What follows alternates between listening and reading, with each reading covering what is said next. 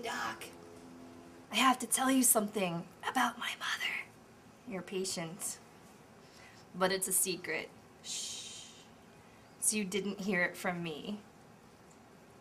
I'm hoping that by disclosing this information to you, you can stop her unhealthy behavior. Oh, don't think you should. She's crazy and clearly can't make her own decisions. Probably because of all the crystal meth she was on while she worked in the chocolate factory years ago. Clearly she is demented, depressed, and psychotic, and I need to be in charge of her care. Don't let her tell you otherwise. It's just the crystal meth talking. Oh, this secret information can be problematic in so many ways. What if the informer is inaccurate?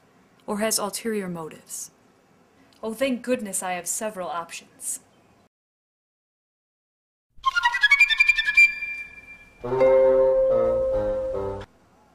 Oompa loompa doopity doo.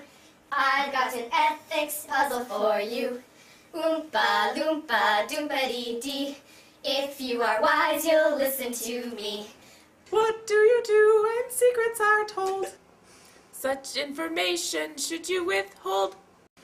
Why don't you try to be more bold? If you do, you will break the mold. Secret secrets are no fun. Oompa loompa doopity da. If you are truthful, you will go far.